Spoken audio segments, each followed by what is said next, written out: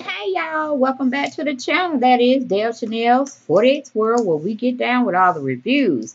Yes, I am back for another must-see video. But before we go into the video and all the antics I have to give you all today, this Saturday, October 26th, in the ATL. That's where I was born and raised. You can call me a native Southern Peach. All right? But I definitely want you to continue, continue, continue to subscribe to my channel. Let's blow up together. Like and share my videos as always. And definitely hit that notification bell so you can definitely get or be the first people that come to my channel for my new video.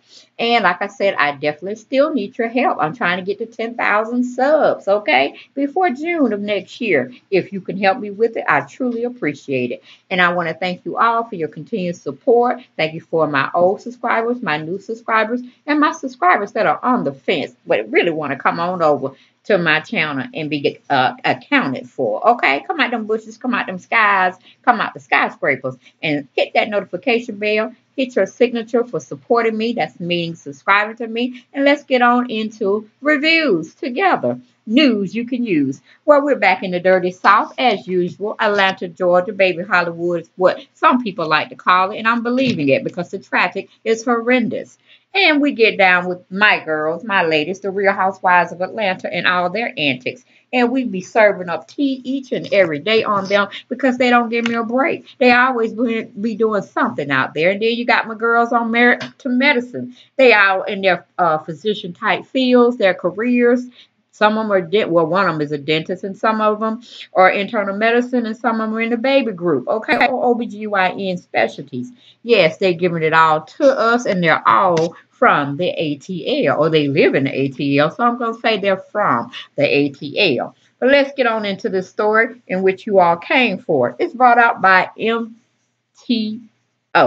Media Takeout News. I know some of y'all get down with them, some of y'all don't. But it just is what it is. It's just news, it's just entertainment, and you can take what I give that I got from them and digest it however you feel. Some people may have strong opinions about it. Some people may be on the fence, don't know whether to go here or there. And then you have your definite ones that will sit down and tell you what they feel about you and your platform and then give you the end result of the subject at hand. I love it. I love it. I love it. Okay, let's get on into this article.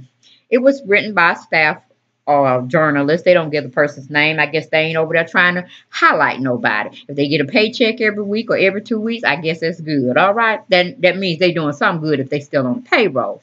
But they titled the article Atlanta Housewives Insider spills all the tea of the upcoming season. And that's season 12 we're talking about. So make sure you get your TVs tuned in. They come in on Sunday, Eastern Standard Time. I think around 8 o'clock. Well, it might be 9, but I think it's 8 uh, Eastern Standard Time zone.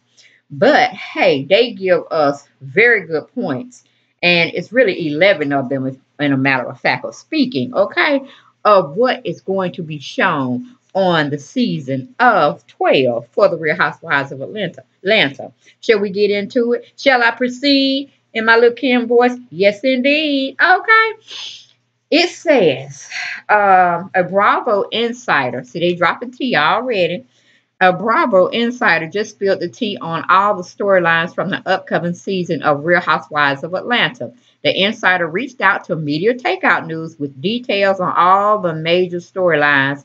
It's a lot to read, but if you're a real fan of the Real Housewives of Atlanta, it's worth it. And I know it's worth it. So y'all coming over to the channel, sit down, get your wine, your coffee, your tea, your orange juice, or whatever beverage you want to bring in the house meaning BYOB, bring your own bottle. We can sit down and we can talk about this situation. Get in a discussion question. So you know I'm going to have some polls on them, okay? But if you haven't taken the polls for uh, this week, make sure you get in because it closes on um, what do you call it, midnight of Saturday going into the Sunday morning. And I would have results by that morning or that afternoon, okay? And then we'll start another whole poll like ain't never, nothing ever happened. we moving on to another week, and you know they're going to have more to talk about. And I like to get your opinions, so I post polls out there so y'all can continue to stay uh, interactive with me and we can have thorough communication throughout the week. Okay. But anyway, going back to the article, it says, We warned you guys, it is filled with spoilers. Now, here we go. Here's the tea. They breaking out for us from Media Takeout News from me to you. Number one, the season started with Dennis cheating rumor, and Bravo made the cast talk about it because Bravo was pissed at Porsha. Basically, after the baby spinoff, Porsha launched a monthly subscription service called Peach Lemonade, which will live stream their day to day life, an app to make their own don't be tardy for the party. And this was also Dennis' idea. Remember the opportunists? I don't know where these women getting these men from that want to capitalize on their wealth. Okay. But it was Dennis McKinley's idea to do something separate on the side, not featuring Bravo, trying to cash in on, you know, an idea and, and try to side swipe uh what do you call it, Bravo TV Enterprise and True Entertainment. Okay, now you know you can't do that. You get one paycheck that's big as all get out, and you're gonna sacrifice it because your fiance is calling himself wanting to make money on the side. That ain't in this article. I'm just giving you my spiel. But going back to the article, it says Bravo made them to pull down the app because their day-to-day -day life should be filmed for the show not for their own gain. You see what I'm saying? When you're messing with the white man and the money, you better adhere because you know you don't sign the contract. And how you overlook overlook that loophole, Dennis, Porsha, I don't know. But they got bigger and better lawyers than both both of you could ever afford. Trust it. And they could have it being in court for a long, long, long dragged out time, and then you'll just be out for the count. And I don't think this nation is going to hold you and all your other little uh, ventures you have gotten going for yourself, Porsha, okay?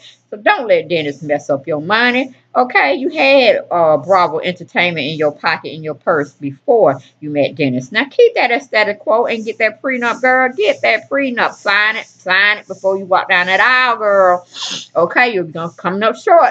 You're gonna be out like like clout, okay? Number two, Porsha is getting a wedding spinoff. They set the wedding date at 1-1-2020.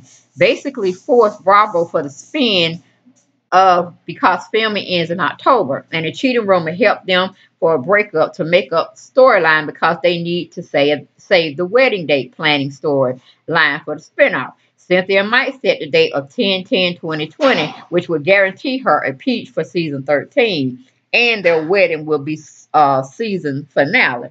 Okay, now we already had a season finale with her and Peter trying to uh, get married, and we saw how that turned out. So, hey, I'm glad uh, Porsha solidified herself uh, with having someone pay for her wedding, and she don't have to pay for it. Kudos to you. Kandi did it, Nene did it, so why not you?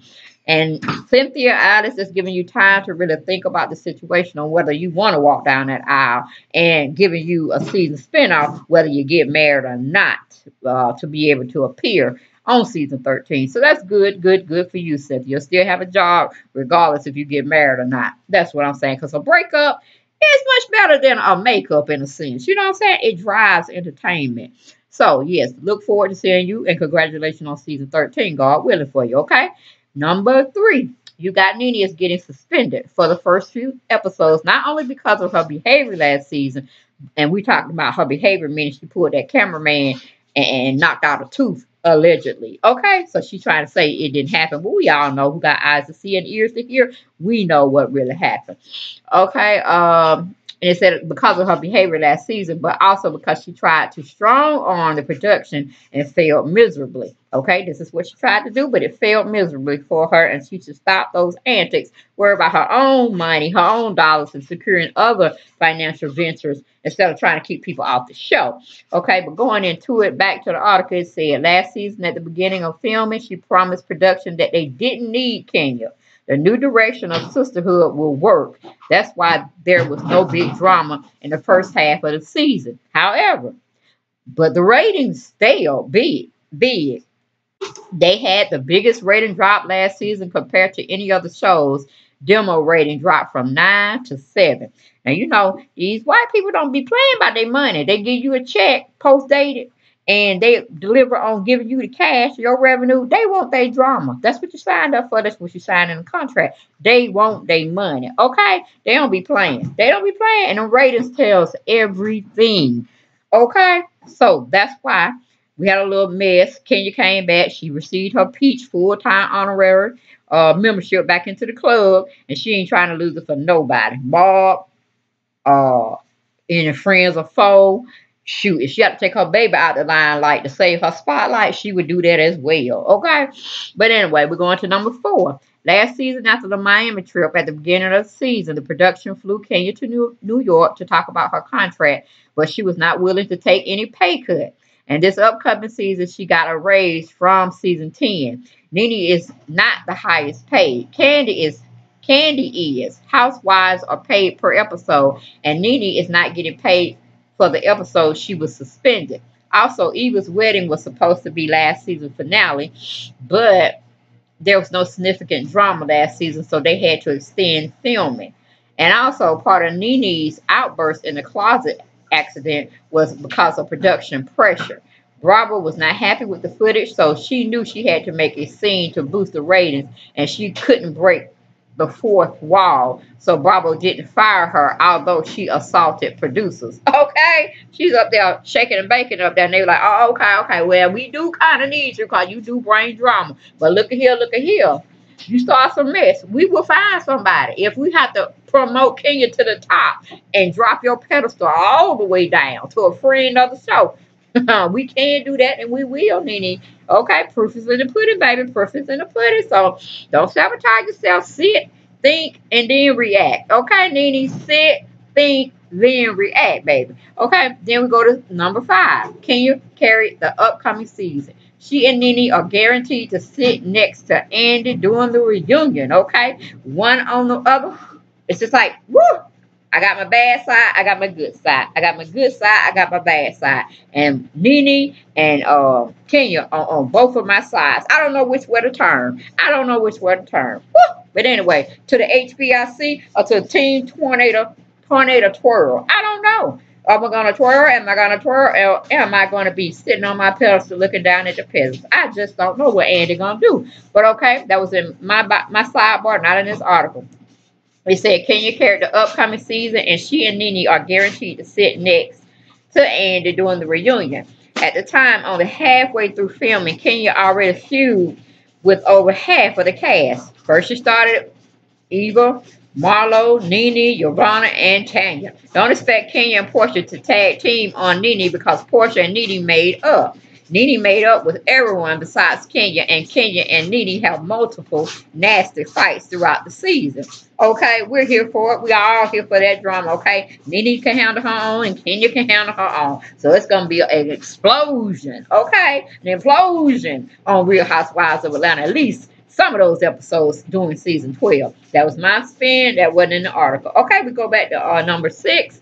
The problem of this cast right now is half of the cast not contributing drama. I know. See, that's what I'm saying. Drama is what fuels this show. My reviews, other people reviews, the bloggers, and anybody else that want to come out to hype a reality show up. We the one to give them fuel. We keep adding fuel to the fire, making y'all want to get updates from us and, and, and make us want to give you all to go and watch their show. It all works in the wash. It all washes out clean. One hand washes the other. Okay.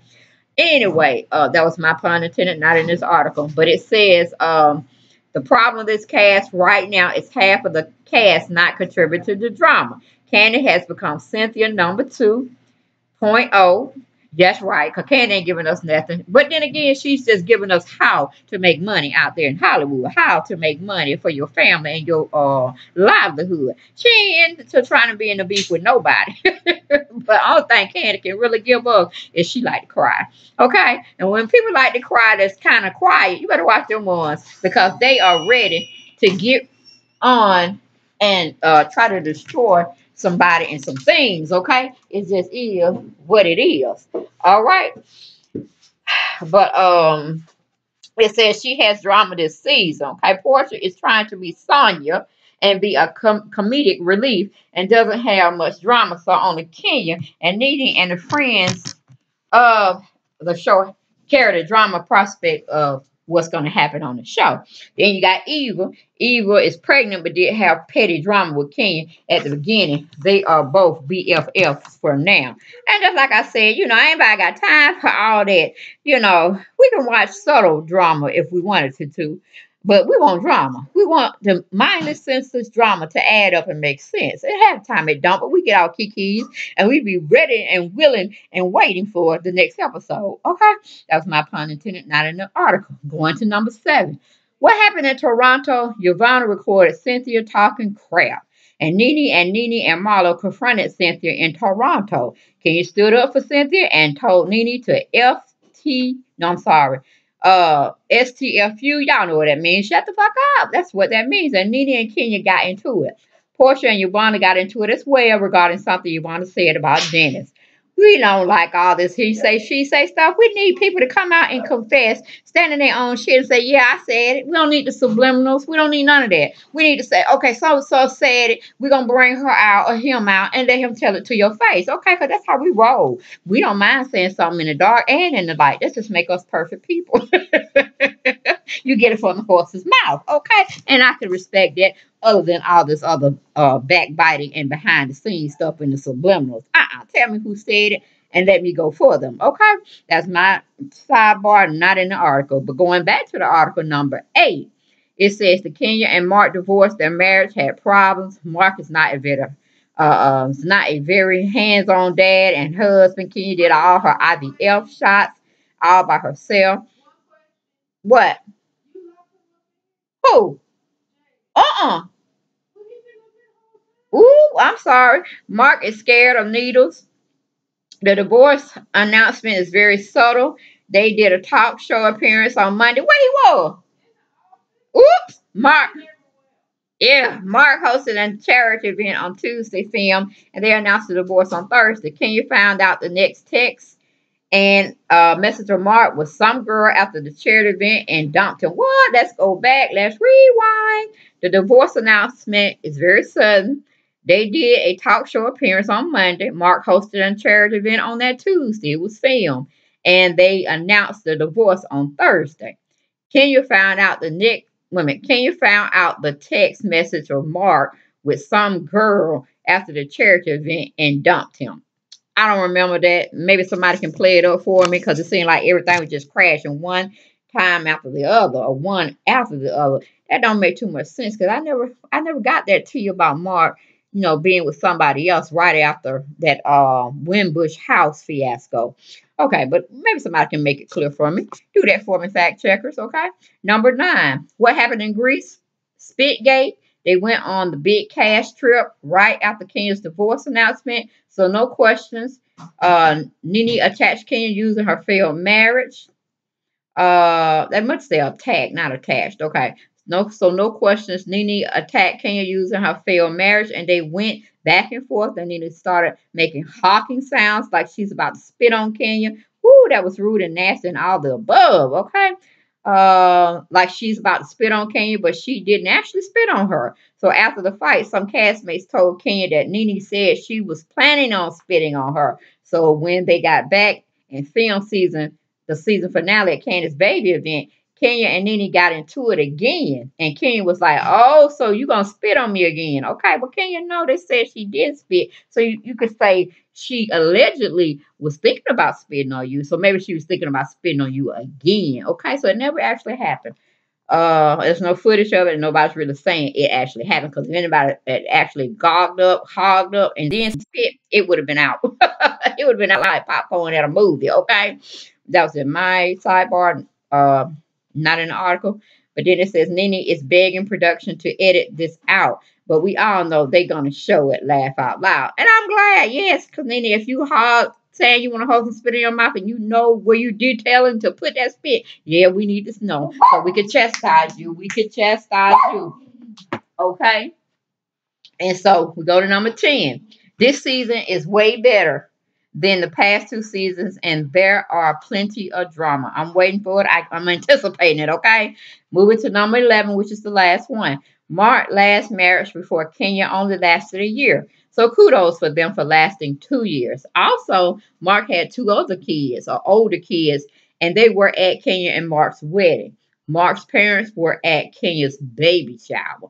Okay? So it is what it is. That was salacious story, some feedback, some up uh up and wanted tea for the future to hold our attention span to go and, you know, tune in when it comes back on I think it's uh, November 3rd. Okay, it's a Sunday. So y'all tune in and definitely come back to my channel and tell me what y'all thought about it. Because you know I'm be doing reviews on them. My girls, they cut up. Yes, they act classy, but then they can get down in the streets and act trashy sometime, okay? And I'll be there for them on the upscale and I'll be there for them on the downscale. I'm one of them ride or dies, okay? I call it as a C. A spade is a spade. I call you out. When you're doing something fancy and fantastic and fabulous, I let them uh, know about it and I share it on my platform. But that's all I have for this video, you guys. Uh, definitely subscribe, subscribe, subscribe, share, and like my videos. Okay, and that's all I got. Y'all get down in the comments, tell me what y'all thought, and please go over and take the polls, all right? That's how we interact with each other and we communicate throughout the week, all right? Y'all be blessed. I'll talk to you next video. Bye-bye.